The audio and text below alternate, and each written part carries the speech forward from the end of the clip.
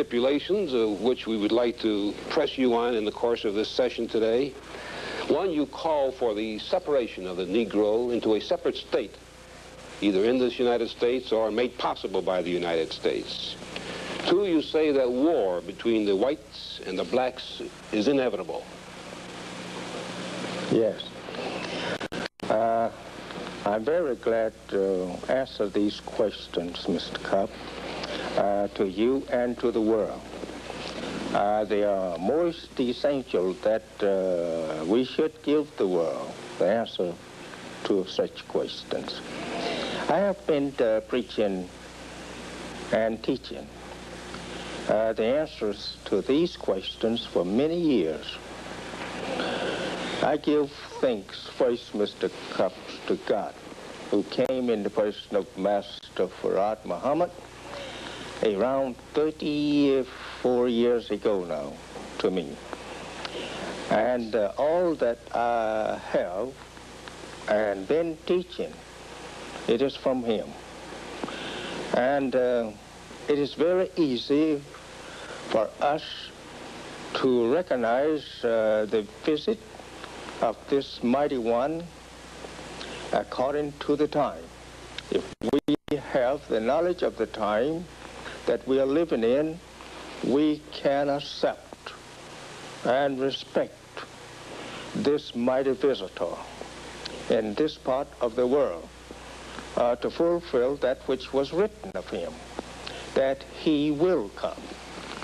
And now he has come, and he has given out his purpose and his aims, as it also is written in the Bible and Quran.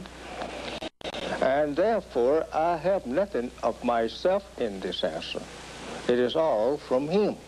From him, you mean the messenger of, Uh, of Allah? No, not the messenger of Allah. I'm the messenger of Allah. I mean from Allah himself who came in the person of Master Fard Muhammad. Who preceded you as the head of the Muslims? Well, he was actually the beginner. Yes, sir. And uh, I'm taught by him. This uh, separation uh, we uh, begin uh, with, it is absolutely nec- necessary. We have uh, lived for here in America for the last 400 years and have served our slave masters well before these past 100 years. And now the time has arrived that uh, we want something for ourselves. The natural spirit of God is moving in us and making us to think in such terms towards self. And uh, the doing for self is now getting into the very life uh, of the black man in America. We want to go for self. We want to be ourselves. This is aroused in us by God himself. And uh, to oppose it means nothing but death to either side. If we oppose it, it's death for us. If others oppose it, it's death to them. But even your own people oppose it, Mr. Muhammad, if I may interject a thought here. Uh, most of the civil rights leaders with whom I know you disagree, Dr. Martin Luther King, Whitney Young, and Roy Wilkins, and James Forman, and James Farmer, and any number of others, all believe in integration, getting along with the whites and moving into the same society. This is all due to their lack of knowledge of the time and what should be done in such time. They don't know that this is their time, that they should be separated or they should go for themselves. This is what I'm trying to teach them. Teach them that this is the time that they should go for themselves. But is it not, would you disagree that it is the ambition and the goal of most Negroes in this country to become Americans in every meaning of that word, to participate in our No. society, to It- be responsible, legitimate, honest citizens? Isn't that the goal of the overwhelming number of Negroes in this country? Uh, it may be uh, their goal, Mr. Kup, because that they don't even know, as I just said, uh, that this is the time that they should be going for self. And uh, lack of knowledge of the time, the lack of knowledge of self. The American so-called Negro, especially the leading class, do not actually know themselves. Uh, excuse my voice as I'm a little look like uh, trying to be a little hoarse this morning. But however, uh, I may clear it up later. America's uh, so-called Negro, as you know, have been kept in the dark of the truth of self and kind for now 400 years and the only one to break forth this truth, it is God himself, as it is written. And the Bible, Ezekiel, and prophesied by Jesus, that uh, the dead must rise, mentally dead. So our so-called leadership is as dumb as those they are leading to this knowledge.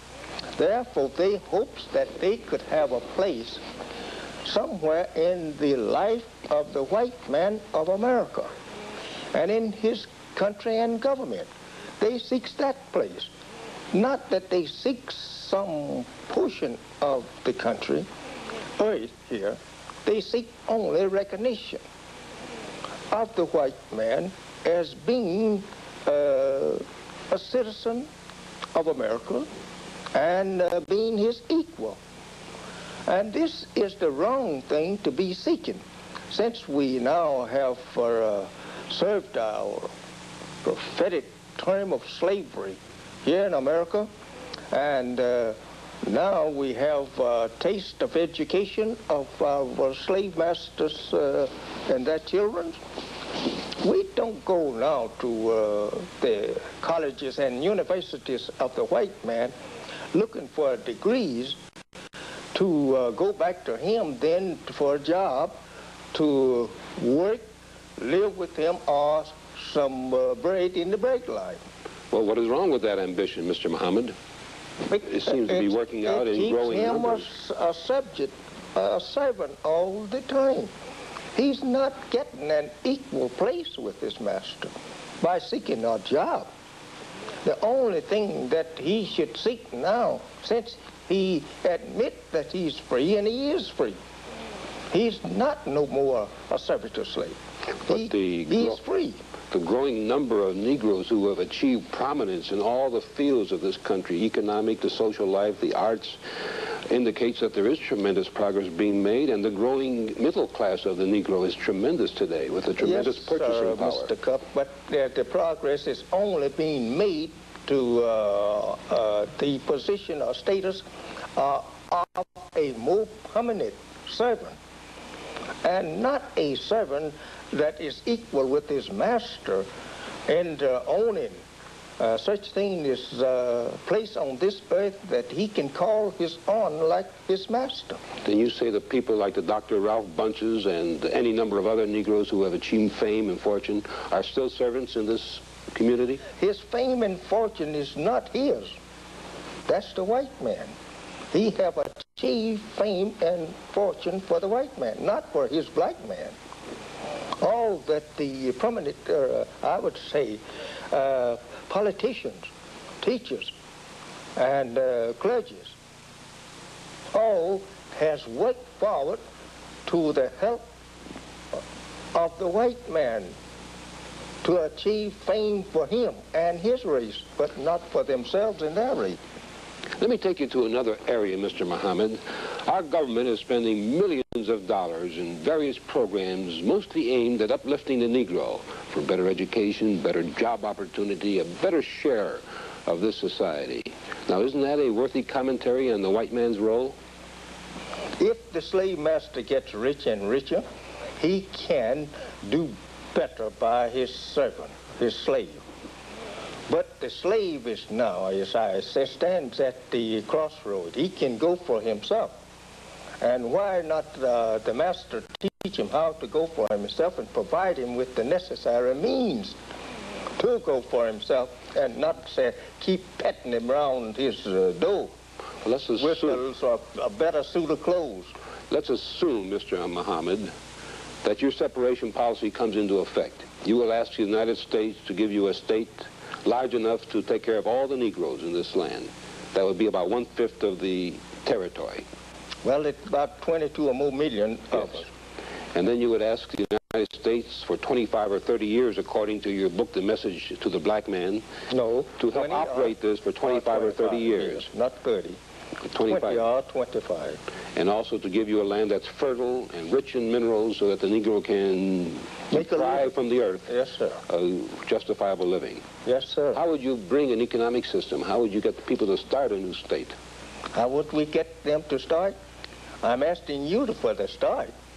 You want the government to start the state for you, to build all the buildings and give you the educational You, system, uh, give you the business. businesses. we believe that you are obligated to start for uh, uh, uh, start us off in such state according to your own uh, civilization or set up for your own civilization.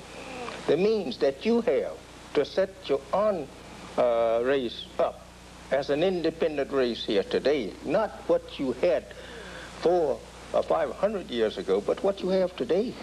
Let me pause for just a moment, Yes, Mr. sir. Muhammad. We still have to interrupt for commercials on this Thank you. program.